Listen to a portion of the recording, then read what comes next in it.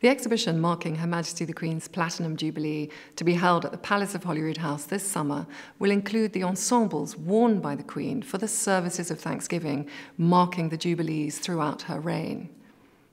These will be displayed alongside a series of gifts and other works of art marking the Queen's official life in Scotland from the beginning of her reign in 1952 right up until the present day.